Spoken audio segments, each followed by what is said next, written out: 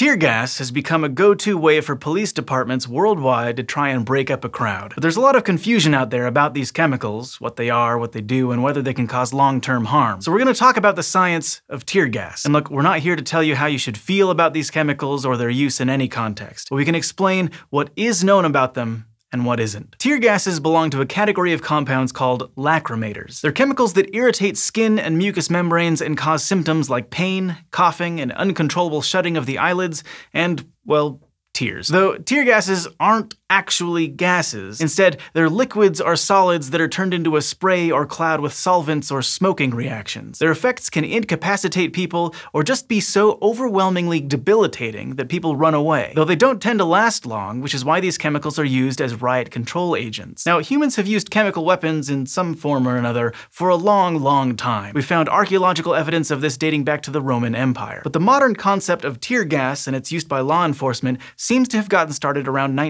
1912 when French police forces began using chemicals to incapacitate criminals. Then, shortly after that, came World War I, which involved the widespread use of chemical weapons, including noxious gases. And now, in 2020, most of these chemicals are banned from being developed, stockpiled, or used per an international agreement called the Chemical Weapons Convention. But tear gases are an exception of sorts. Most countries have agreed not to use them in war, but the CWC doesn't actually ban the use of tear gases domestically. So these compounds have continued to be manufactured and sold to law enforcement agencies around the globe. Today, there are a number of compounds that might fall under the header of tear gases. Some of the most common ones are as follows. CS gas, CN, which is actually the active ingredient in mace, CR gas, OC, and finally, PAVA. So basically, a lot of letters because no one wants to say their chemical names over and over again. Of these, CS and OC are the most commonly used, but they all cause similar symptoms, and they break down into two major categories based on how they do that. CS, CN, and CR are synthetic compounds known as electrophilic agents because they bind to and accept electron pairs from other compounds. There are electrophilic agents that don't cause pain, but what makes these tear gases special is that they fit into and take electrons electrons from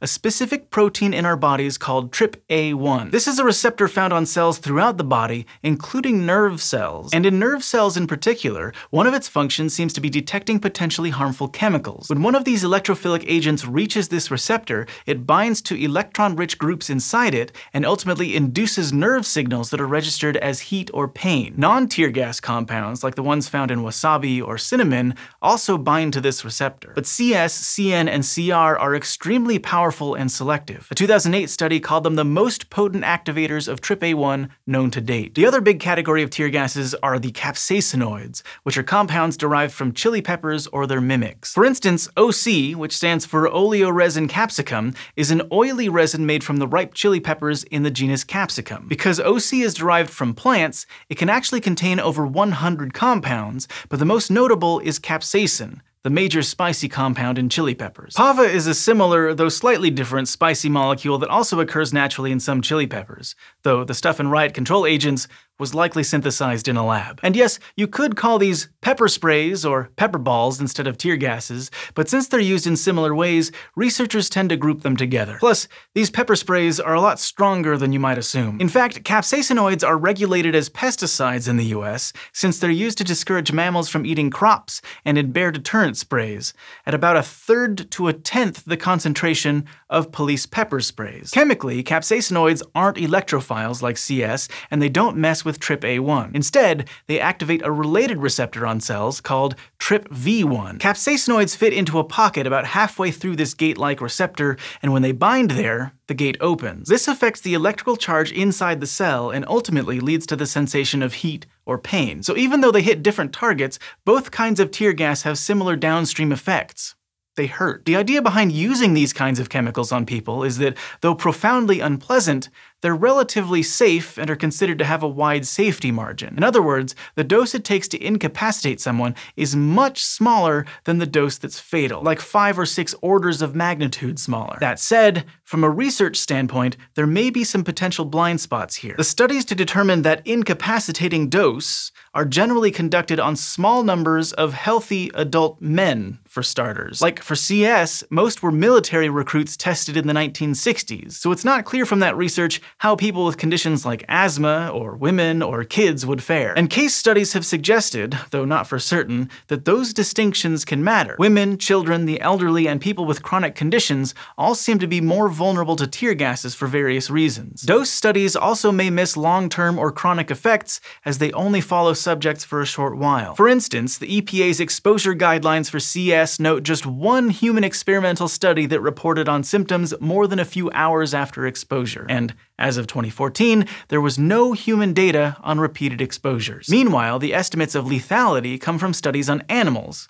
not people. That's for obvious reasons. Still, as we've mentioned a lot here on SciShow, studies in animals like mice don't necessarily translate perfectly to humans. There are plenty of chemicals that lab animals tolerate way better than people, and vice versa. All this means that we just don't have a lot of experimental data on how these chemicals affect a real-world population of people. Instead, scientists often have to rely on the after-the-fact case studies written up by doctors, retrospective studies, or reviews of these. And while these can be helpful at letting us know the possible consequences of exposure, they're not perfect either. Like, they're not usually set up to tell us how outcomes change with dose, since they're done after exposure. Plus, they can have gaps, like if patients or their doctors don't report everything accurately. And ultimately, that means they're not so good at telling us how common more serious reactions to tear gases are. But we do know they exist. Even the initial studies for CS noted things like kidney damage in animals, and case studies contain a number of other worrisome effects. In the respiratory system, for example, tear gas exposure can cause potentially life-threatening conditions. These include pulmonary edema, which is when the lungs fill with fluid, and respiratory arrest, which is when the person stops breathing. Tear gases can also cause chronic inflammation of the lung tissue and coughing that can last for weeks. One Army study even suggests CS exposure might make subjects more susceptible to respiratory infections. So people exposed to tear gases may be at higher risk for catching the flu, or coronaviruses. Cases have suggested tear gases can also trigger heart attacks, as well as cause digestive tract symptoms, first and second degree burns, and miscarriages. There's even some evidence to suggest that they may be carcinogens, meaning they could speed the development of certain cancers. That might seem like a wide swath of issues, and it is. That may be because TRPA1 and TRPV1 are found in many types of tissue and might do quite a few different things in the body. They've been connected to widespread immune activation, for example. TRPA1 was even called a gatekeeper of inflammation by one study. And because they cause pain, they activate the body's fight or flight network. That means they can affect all sorts of body parts and functions like heart rates, which may lead to erratic, potentially dangerous changes in heart rhythms. In the end, the safety of tear gas is really controversial. And despite being supposedly non-lethal or sublethal, there have been deaths linked to different types. Given all of this information, it's only natural to wonder whether there are any good treatments or antidotes to tear gases. And sadly, no, there isn't a universal cure. Most doctors say preventing or limiting exposure is key. Experts have noted that gas masks can filter out the particles in the air, and goggles, long sleeves, and cloth covering the nose and mouth can prevent chemicals from reaching the skin and mucous membranes. So those can all reduce the amount of tear gas that gets on and into a person's body. Experts have also recommended removing makeup or contacts as particles may stick to them. But if someone is exposed to tear gas, the most important thing for them is to get away from the source and maybe get somewhere high up, as the chemical clouds are heavier than air and tend to sink. Now, some people swear by certain treatments, like you may have seen videos or pictures of people rinsing their eyes with milk. That kind of seems like it would make sense, since people chug milk to counteract the capsaicinoids in spicy foods, and research has found that milk quenches the mouth burn of spicy meals. Unfortunately, the best way to manage the symptoms of tear gas exposure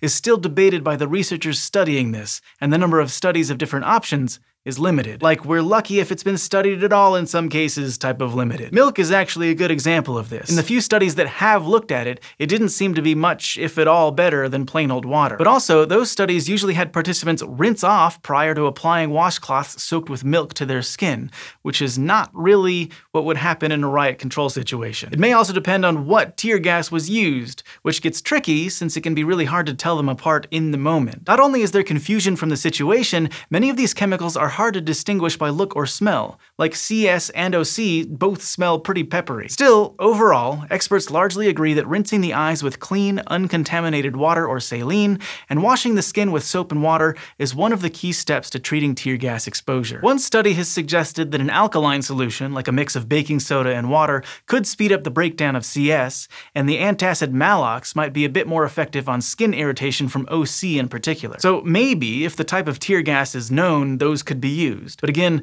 the research on them is very limited, so it might be safer to stick to water and soap. It's also important to know that tear gas chemicals linger in the environment and on clothing. That means they can transfer to healthcare workers trying to help out, and contaminated clothes should be washed multiple times separately from the rest of a person's laundry. Also, surfaces may need to be scrubbed and exposed food tossed. In extreme cases, specific professional cleaners who can deal with noxious chemicals may be needed. So, there you have it. That's the rundown on tear gas. That term can refer to any of a number of compounds, all of which get their tear producing effects by triggering pain receptors of some kind. And though they're often called non lethal, they can affect many parts of the body with serious, sometimes fatal, consequences. And there are still major gaps in our knowledge on their effects and how best to treat them. That's where things stand. I hope you found this information helpful, and as always, if you want to read more on your own, you can find the sources for this video in the description. Before we go, we'd like to thank our patrons on Patreon for supporting us and allowing us to talk about big, complicated topics like this. And thanks to you for watching this episode of SciShow.